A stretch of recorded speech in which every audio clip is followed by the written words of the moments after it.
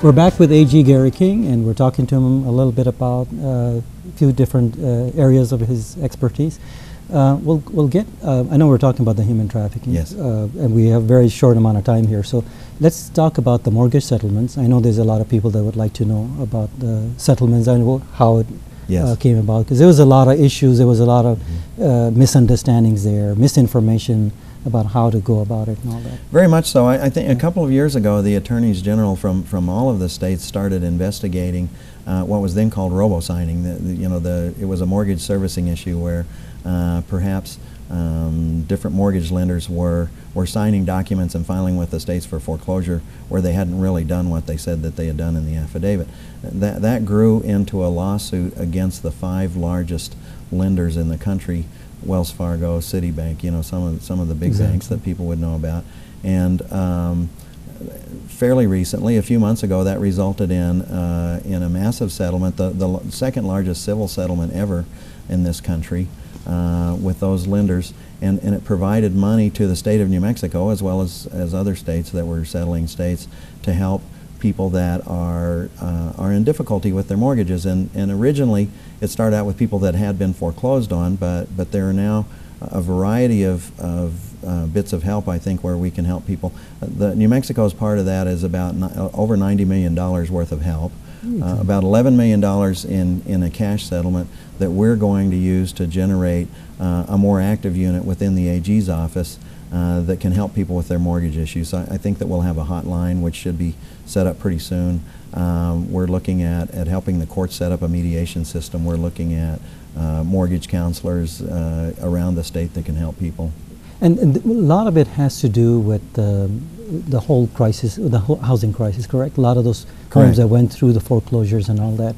So how do they get on your website, and what what sort of help are they getting through your website Sure. specifically? We, Yeah. we have some folks that are assigned to help on that specifically right now. So our, our website has an easy address. It's just nmag.gov. Okay, and then we'll have that up yeah, at the- for- good. So Yeah. for um, and and once you get to the the AG's website, you should be able to uh, to navigate to find a place for for mortgage assistance or learn more about the mortgage settlement because um, I think that there will be several thousand people in New Mexico at least that that will be eligible for some assistance under this. Some people that have that were foreclosed on will get some uh, cash payment uh, just to deal with the robo signing issue. It's, it's it's not enough to save your house. It- Exactly. it is just a essentially a, a payment that recognizes that there was this robo signing and other servicing uh, issues that, that people should be compensated for. What about those individuals that stopped paying Mm-hmm. uh, simply because there was some confusion there, or they just didn't want to pay anymore?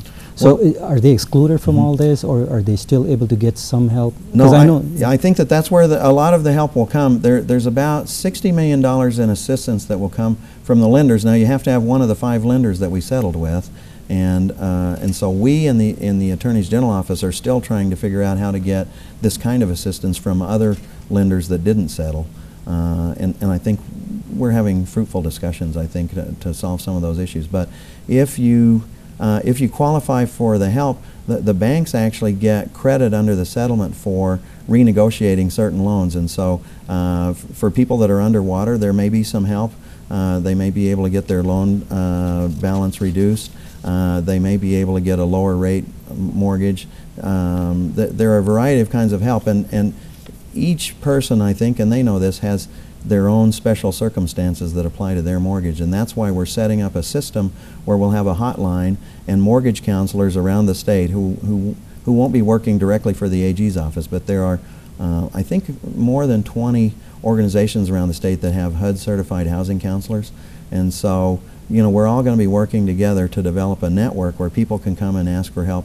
And, and I think a lot of people will, will be able to get some uh, refinancing help or something uh, if they're underwater. And, and primarily, uh, and people have talked about whether this is uh, one of the not so good parts of the settlement, but primarily it will be the people that, that are behind on their mortgage payments that are going to have access to that help.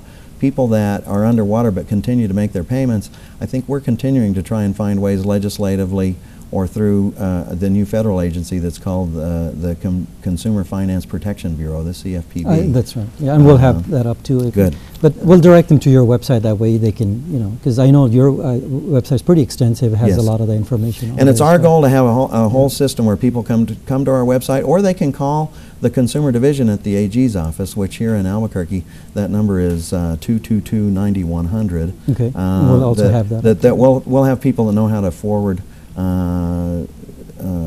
mortgage holders who have questions to the right part of the agency to give them help there. So we want to try and make it as accessible as we yeah, can. During the, rece- I mean, the last go with the housing crisis, there was such a huge, uh, um, you know, demand for someone helping because, Yes. and I know the AG's office provides a lot of help with consumer protection and all that, but there was, it was such a, there was so many moving parts to it. It- Yes. it- Everybody couldn't figure out, well, where do you really go for help? Mm-hmm. So I think your office handles a huge portion of, of those uh, questions there. We do. And makes it a lot uh, easier for them to just get on there because it's local, it's not something federal.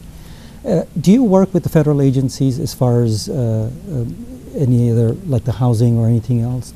We, we work with federal agencies in a lot of cases, but we just fairly recently had our. Um, With the our- DOJ, right? Uh, The- yes, well, with Okay. DOJ, with the Department of State, with Homeland Security, you know, in, in Yeah, that- various places true. with housing and ur- urban development uh, on, on the mortgage settlement.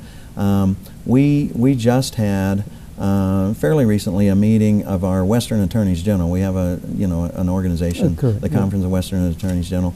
But we, we had a whole segment one afternoon with enforcement people from the, the Consumer Finance Protection Bureau where we talked about how we can work together to deal with other financial fraud because there still are problems out there and there, uh, the, one of the things that, that the act that created that bureau did is it gave the state attorneys general enforcement authorities to enforce the federal law. So now Okay. we're working with them. Um, so if, if they have short resources, then sometimes we can enforce those.